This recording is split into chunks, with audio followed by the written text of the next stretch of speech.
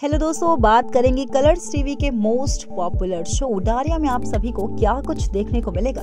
Upcoming track बहुत ही ज़्यादा कमाल का है, जहाँ एक तरफ़ तो नहमत अपने फादर इन लॉ यानी कि अद्वैत के पिता की जो है क्लास लगाती है। क्योंकि यहाँ पर भाई उसके पिता बोलते हैं कि जब मीडिया वाले हमसे ज़्यादा सवाल तुम्हारी प्रेगनेंसी को लेकर करने लगेंगे तो हम उनको बोल देंगे कि भाई तुम्हारा मिसकैरेज हो गया, बच्चा गिर गया और बच्चा अब नहीं रहा।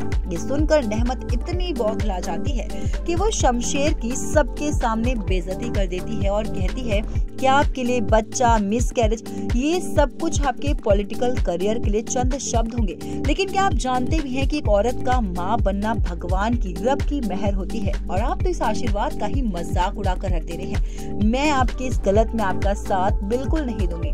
तो वहीं दूसरी तरफ़ हमें ये देखने को मिलता है कि बेचारा एकम बहुत परेशान है क्योंकि चारों तरफ़ ये न्यूज़ फैल चुकी है कि नहमत और अद्वैत पेरेंट्स बनने वाले हैं। जहाँ पर एक तरफ़ तो एकम को लगता था कि अद्वैत इतना बड़ा धोखेबाज है, वो नहमत को धोखा दे रहा था और उसके बाद उसने कैसे नहमत को प्रेग्नेंट कर दिया, इनके बीच में तो कुछ था ही नहीं। और एकम के मन में इतने सारे सवाल जवाब जो है, उसके मन में चलने लगते हैं। अब ये देखना दिलचस्प है की आखिरकार क्या एकम जान पाएगा की ये सब कुछ सिर्फ़ और सिर्फ़ एक झूठ है? आपको क्या लगता है दोस्तों, कमेंट्स में बताएँ। वीडियो को लाइक और चैनल को सब्सक्राइब करना ना भूलें।